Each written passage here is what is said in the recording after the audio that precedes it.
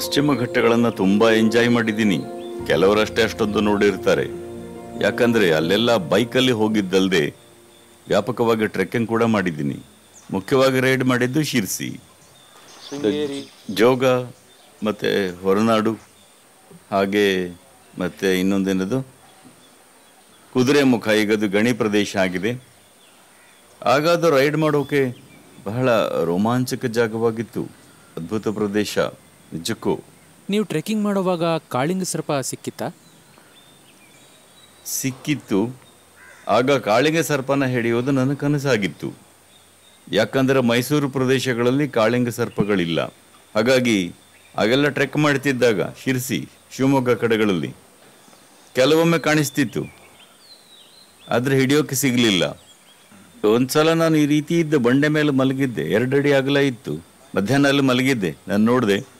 ಒಂದು ಹಾವು ಹೀಗೆ ಹರಿತಿತ್ತು. ಇಷ್ಟು ದೊಪ್ಪದ್ದು. ಬಹುಶಃ ಹದಿನಾಲ್ಕು ಹದಿನೈದು ಅಡಿಗಳದ್ದು. ನನ್ನ ತೋಳಿನ ಮೇಲಿಂದ ಸಾಗ್ತಿತ್ತು. ಬಲಗೈ ಇಲ್ಲಿತ್ತು.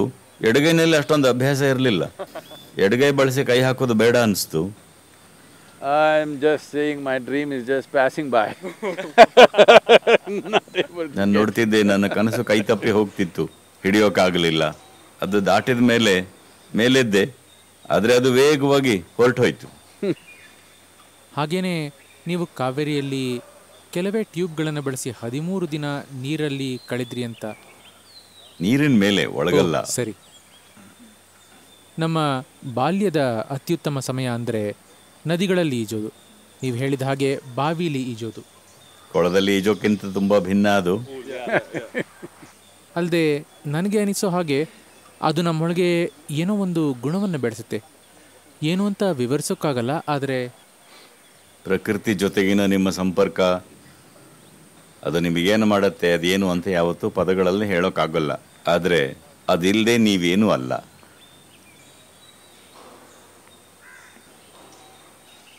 ನಿಜ, ಇದು ನಮಗೂ ಕೂಡ ಮುಖ್ಯ.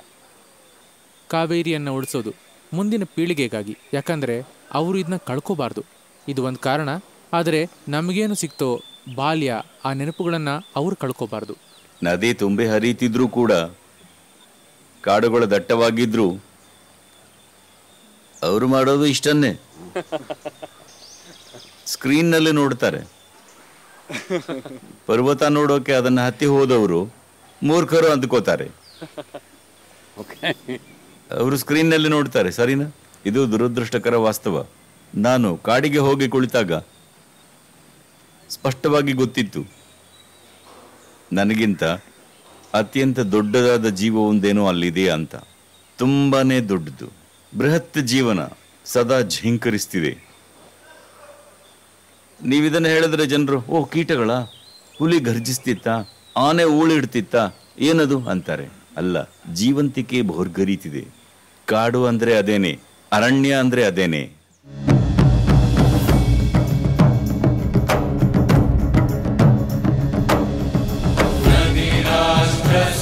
my.